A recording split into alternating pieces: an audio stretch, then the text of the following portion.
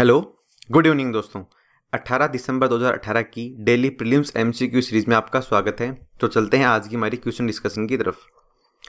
जो पहला क्वेश्चन है, वो है कि रिसेंटली एक नई प्रजाति पाई गई है किसकी? वो दी गई यहाँ पे प्लानोनोसोस इंडिकोस ये किसकी प्रजाति भी रिसेंटली न्यूज़ में थी जो कि खोजी गई है? तो आपको बताना है। पहला ऑप्शन है आपके सामने पिग्गी होक दूसरा है सार्क तीसरा है मेंढक और चौथा है छिपकली। तो देखो हम बात करें, यह भी रिसेंटली लास्ट महीने के करंट अफेयर में था। कि प्लानोनोसोस जो इंडिकस है, वो सार्क की एक स्पीसीज है, जो कि इंडियन ओशियन में डिस्कवर है, वो की गई है। तो इसलिए इसका ऑप्शन बी यहाँ पे करेक्ट है, वो हो जाता है। चलो आप ये बताइए कि अभी सींग वाले मेंढक की खोज की गई थी, चार प्रजातियाँ, वो कहाँ पे डिस्कवर की गई थी? इसका ऑप्शन आपके सामने यहाँ पे नहीं, आपको कमेंट बॉक्स में बताना है कि चार जो होन के मेंढक पाए गए हैं, वो कहाँ पे भी इंडिया में डिस्कवर किए गए हैं। नेक्स्ट जो आर्टिकल है, वो है ग्रीन हाउस गैस के बारे में। क्वेश्चन है कि ग्रीन हाउस गैसों में वृद्धि का अर्थ पृथ्वी द्वारा अवशोषित गर्मी में वृद्धि हुई है।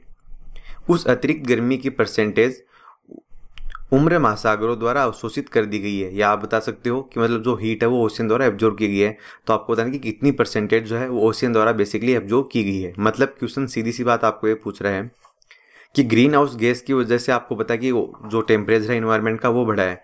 तो उसकी जो मैक्सिमम जो गर्मी है, वो कितनी एब्जॉर्व की गई है, यहाँ पे पूछी गई कि महासागरों के द्वारा। तो देखो इसका आंसर होगा यहाँ पे डी 90 परसेंट क्योंकि आपको पता है कि हमारी अर्थ है, इसके ऊपर मैक्सिमम हिस्सा तो ओशियन का है। तो ऑब्वियसली ओशियन है, वही ज़्यादा एनर्जी को या वही ज़्यादा जो हीट है, उसको एब्जॉर्व करेंगे तो वो मैक्सिमम एनर्जी हीट है, वो एब्जॉर्व की गई है। बेसिकली महासागरों के द्वारा, इसीलिए महासागरों का टेम्परेचर बढ़ता है और उसके साथ ही ग्लेशियर पिघलते हैं और हम देख सकते हैं कि जो ओसी लेवल है, वो धीरे धीरे बढ़ रहा है। तो ये किस तरीके से हम क्वेश्चन को अटेम्प्ट कर लेते हैं। नेक्स्ट क्वेश्चन में दो स्टेटमेंट दिए गए हैं। पहला स्टेटमेंट है कि नैरोबी कन्वेंशन है, वो बेसिकली मरीन पोल्यूशन को निपटने के लिए कहाँ पे? वेस्ट पैसिफिक ओशियन में। मतलब वेस्ट पैसिफिक ओशियन में मरीन पोल्यूशन से मरीन मरीन प्रदूषण से निपटने के लिए नैरोबी कन्वेंशन आई। दूसरा स्टेटमेंट यह है कि होनोलुलु जो स्ट्रेटजी है, वो बेसिकली मरीन जो कचरा है, उसको ख़त्म करने के लिए है। तो देखो, आपको यहाँ पे बताऊँ इसने पूछा कि choose the right option second option देखो, बिल्कुल सही है यहाँ पे कि होलोनो जो स्ट्रेटजी है, वो बेसिकली मरीन जो प्रदूषण है मरीन जो पोल्टेंट है, कचरा है, उससे निपटने के लिए है। पहला स्टेटमेंट यहाँ पे गलत है। क्यों? क्योंकि नैरोबी कन्वेंशन है, वो बेसिकली वेस्ट पैसिफिक ओशन के लिए नहीं है, यह है हिंद महासागर के लिए।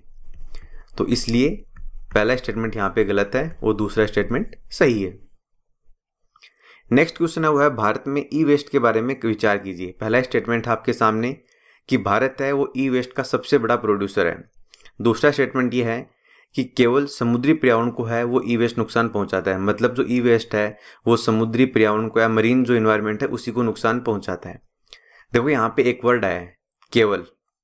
ये आप देखिए कि केवल समुद्री को यहाँ पे। तो आप इस पर फोकस कीजिए कि ये गलत है या सही है। तो देखो, हम इसकी बात करें तो ऑब्वियसली दूसरा स्टेटमेंट है, वो गलत हो जाता है, क्योंकि केवल मरीन जो इन्वायरमेंट उसी को इफ़ेक्ट नहीं करता है। इसके साथ ही जो हमारा ओवर इन्वायरमेंट है, जो लैंड लेवल है, उस पर भी इफ़ेक्ट है, वो बेसिकली डालता है। तो बी तो यहाँ पे गलत हो गया। अब बात बची पहले के बारे में तो इसको आपको गूगल पे सर्च करना, आपको स्टडी करके बताना है कि भारत है वो ई वेस्ट का सबसे बड़ा प्रोड्यूसर है या नहीं है। ई वेस्ट का मतलब है इलेक्ट्रॉनिक वेस्ट जो कि आपको पता है पुराने बेकार जो कचरे के मोबाइल होते हैं कंप्यूटर वगैरह होते हैं टीवी कंप्यूटर जो भी इस तरह के इलेक्ट्रॉनिक्स आइटम है, उनको बेसिकली ई वेस्ट में काउंट है, वो किया जाता है।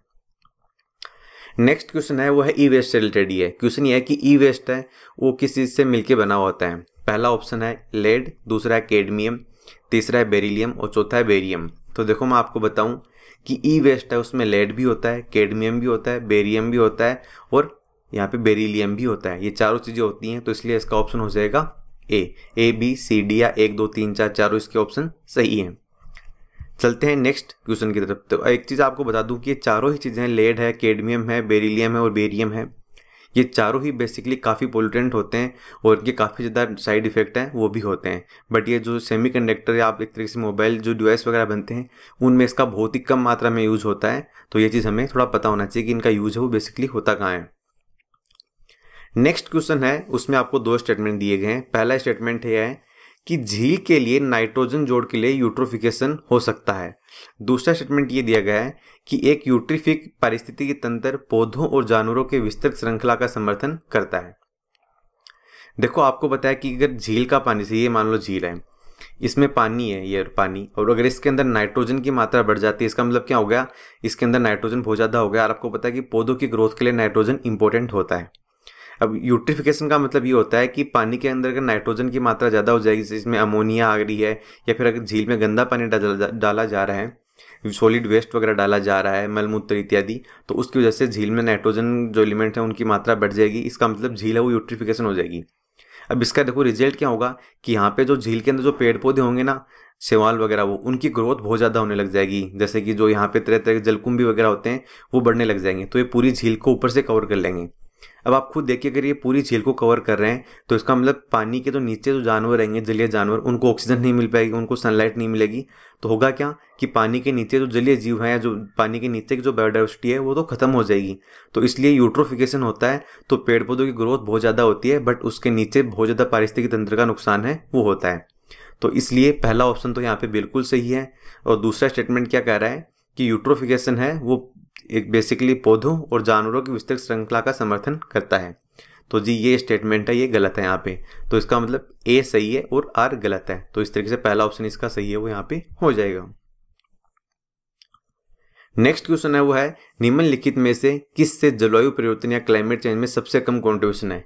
ये क्वेश्चन भी आपको होमवर्क आपके लिए कि आपको बताना है कि मीथेन सी अमोनिया या फिर सी इनमें कौन से की वजह से सबसे कम इफ़ेक्ट है वो हमारे क्लाइमेट चेंज पे पड़ता है? मतलब इनमें से कौन सी गैस है जिसका सबसे कम इफ़ेक्ट है वो क्लाइमेट चेंज पे पड़ रहा है? नेक्स्ट क्वेश्चन है, वो है बेसिकली दो स्टेटमेंट दिए गए हैं। पहला स्टेटमेंट दिया गया है कि जो प्लास्टिक वेस्ट होता है, उससे जो फ्यूल जनरेट होता है, उसको ग्रीन फ्यूल कहते हैं। दूसरा स्टेटमेंट ये है कि जो फर्टिलाइज़र इंडस्ट्री है, वो बेसिकली जिप्सम को प्रोड्यूस है, वो करती है। तो देखो, बिल्कुल सही है। दूसरा स्टेटमेंट हम बात करें कि फर्टिलाइज़र इंडस्ट्री है, उसमें जिप्सम है, वो प्रोड्यूस होता है। सेकेंड पहला स्टेटमेंट क्या सॉरी यहाँ पे पहला स्टेटमेंट दिया गया है कि प्लास्टिक वेस्ट जो फ्यूल जनरेट होता है, उसको ग्रीन फ्यूल कहते हैं। तो जी, बिल्कुल सही है, क्योंकि आपको पता है कि प्लास्टिक में बेसिकली लेड नहीं होता प्लास्टिक वेस्ट में, इसलिए उससे जो भी ऑयल का या फ्यूल का प्रोड्यूसन होता है, उसको बेसिकली ग्रीन फ्यूल के नाम से जानते हैं। तो पहला और दूसरा दोनों स्टेटमेंट इसके सही हैं। नेक्स्ट क्वेश्चन है ये आपके लिए होमवर्क है। क्वेश्चन ये है कि फाइंड द करेक्ट मैच आपको चार ऑप्शन दिए गए हैं और मैच द फॉलोइंग में आपको इनको बताना कि कौन सा सही है और आपको सही आंसर भी कमेंट बॉक्स में बताने हैं कि कौन सा किससे मैच होगा। पहला यहाँ पे दिया गया है महोगनी इसके सामने दिया गया है आपको ट्रोपिका डेसिडियस फॉरेस्ट यानी कि उष्ण कटिबंधीय पर्णपाती वन। दूसरा दिया गया है बबूल।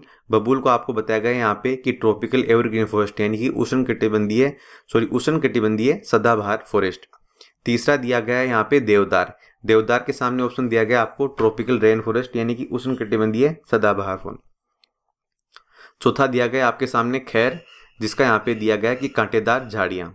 तो देखो, आप बताइए इसके बारे में कि कौन सा स्टेटमेंट यहाँ पे या कौन सा ऑप्शन है वो आपके सामने सही है। तो देखो, ये तो थे आज के हमारे क्वेश्चंस तो आपको कैसे लगे, इस वीडियो के बारे में आप कमेंट बॉक्स में ज़रूर बताएँ और वीडियो को ज़्यादा से ज़्यादा से लाइक करें और शेयर करें। तो फ़िलहाल की डिस्कशन में इतना ही है। तो thank you thank you very much for discussion.